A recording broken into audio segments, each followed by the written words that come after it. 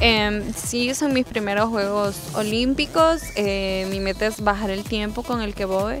Mi tiempo es de 1 hora 36, 27. Espero bajarlo, eh, mejorar mi marca personal y pues que no hay nada imposible. porque no pelear una medalla y entrenar para una medalla olímpica? Sí, son mis primeros Juegos Olímpicos y gracias a Dios daré todo lo que esté en mi alcance para lograr una medalla olímpica. Marchar abajo de 3.45, ese, ese, es mi, objetivo y también poder agarrar una, una medalla olímpica.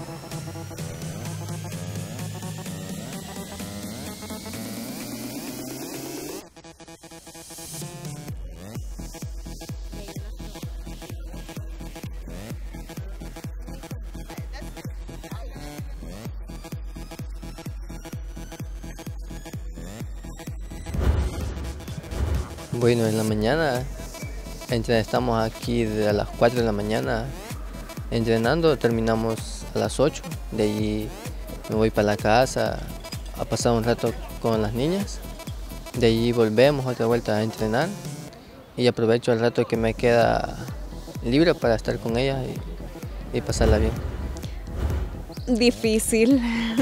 Tengo que llevar las dos cosas a la par. Los hijos son importantes y esto para mí también porque tenemos un sueño y con este sueño podemos cambiar nuestra vida y la vida de nuestras hijas.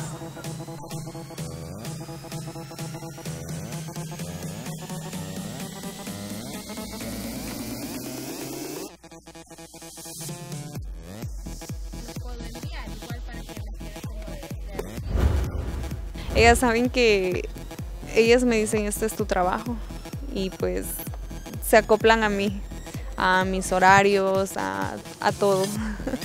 Mm, creo que como cualquier madre que se separa de sus hijos, lo, los extraña. Para mí mis hijas son todo. Y pues cuando me alejo de ellas igual siento que hay ausencia, y, pero trato de comunicarme con ellas, de tratarlas de, de ver porque eso es lo que me alimenta y por ellas estoy haciendo esto. Sí, es un gran compromiso que lleva uno, porque no es cualquier competencia, son unos Juegos Olímpicos donde van todos los mejores del, mundo y hay que estar ahí entre los primeros 10 o 3, si Dios quiere. Y sí, es, hacen falta las niñas, pero es un sacrificio que uno hace porque hay que darle mejor vida y hay que aprovecharla al máximo.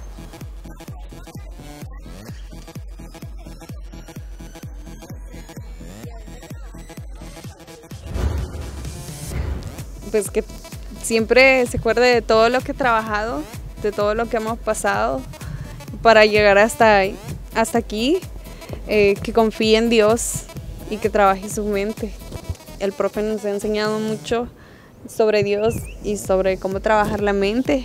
Entonces, yo lo voy a apoyar siempre, en las buenas y en las malas. Siempre voy a estar ahí para Él. Bueno, que primeramente que le dé gracias a Dios porque es una oportunidad que todo atleta sueña con poder clasificar a unos Juegos Olímpicos y no todos lo pueden lograr. Nosotros gracias a Dios clasificamos y el y el mensaje que le doy a ella que salga sin miedo a la, a la competencia, porque solo es una oportunidad que tiene uno en la vida y hay que aprovecharla.